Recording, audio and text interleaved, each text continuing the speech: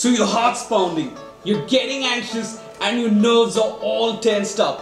So, how do you overcome your worst fears? That's what's coming up.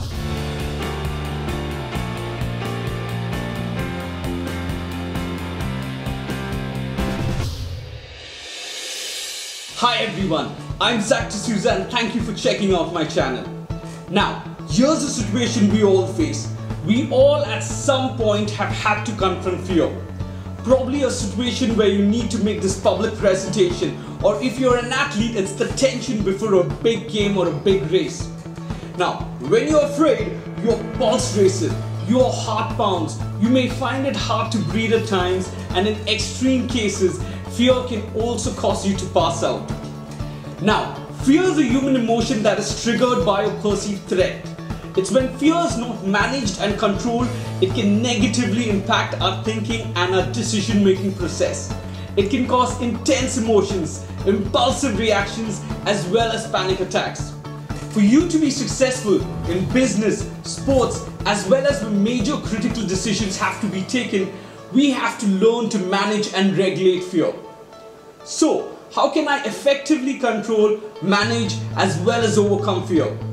Well, one of the ways to deal with fear is through box breathing. Now, box breathing is a technique used by the US Navy SEALs. They use this technique to calm their nerves and stay focused and stable when they are all tensed up before a gunfire or a battle. Practicing box breathing is quite simple. All you need to do is just relax and find a place where you can sit yourself down. Now take a deep breath in or inhale for 4 seconds. Hold the air in your lungs for the next 4 seconds. Now exhale for 4 seconds, emoting all the air inside and then just hold your breath calmly for the next 4 seconds. All you need to do is just repeat this cycle a couple of times. Doing this is going to give you almost an immediate sense of calmness as well as relax your mind. Now box breathing helps in reducing stress and anxiety as well as it can reduce blood pressure. Apart from that, it helps in increasing your focus and concentration. The next thing that you need to do to manage fear is by talking to yourself. Now that your nerves are all calmed and focused, you've got to know how to talk to yourself. So go ahead and talk to your inner self. Talk to your mind, your will, your emotions. Talk to yourself about your accomplishments, your victories, and pep yourself up.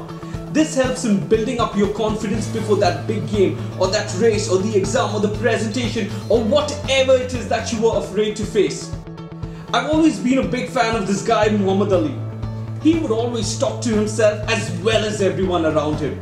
He kept saying, I am the greatest. I'm young, handsome, fast, and I can't possibly be beat. One of my favorite lines of his was, if you ever dream of beating me, you better get up and apologize. Now, the final step in you managing your fear is to just go ahead and do it. In other words, do it afraid. Finally, go ahead and do whatever it is that you have to do. Take that plunge, run that race, make that presentation, and like Nike says it, yes, do it. In fact, keep putting yourself in that situation that you are afraid of. If you're afraid of making a presentation or talking in front of a camera, Keep doing it till you destroy that fear completely. You'll soon realize that what's going to take over that fear is adrenaline, endorphins, those feel good hormones that keep you motivated, excited, and driven. So go ahead and face your fears.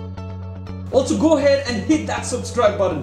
Also, make sure that you don't forget to click on the bell icon so that you get a notification whenever I release a new video. And please do like, comment as well as share this video so that we together can make a difference.